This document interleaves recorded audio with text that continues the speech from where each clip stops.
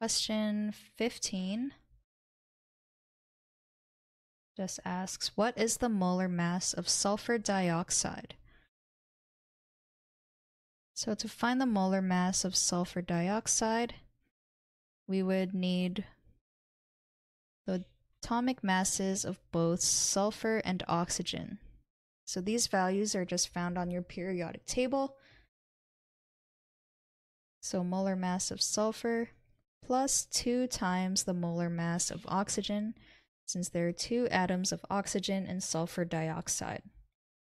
So the molar mass of sulfur is 32.07 grams per mole, and the molar mass of oxygen is 15.99 grams per mole.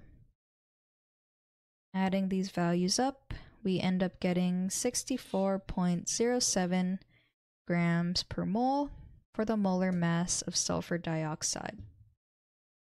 So, Junior Tutor said, in definition, the molar mass is the mass of a given chemical element or chemical compound in grams divided by the amount of substance in moles.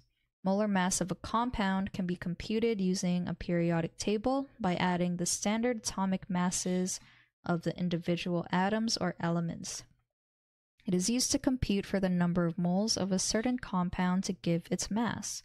To compute for the molar mass of sulfur dioxide, we need to get first uh, the individual atomic masses of each element.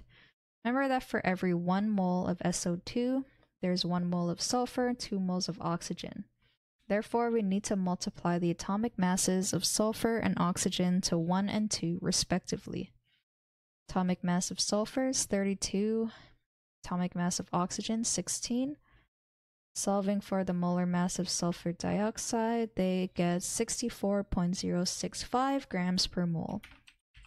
So this solution is correct. Okay, so I think we have time for one more question.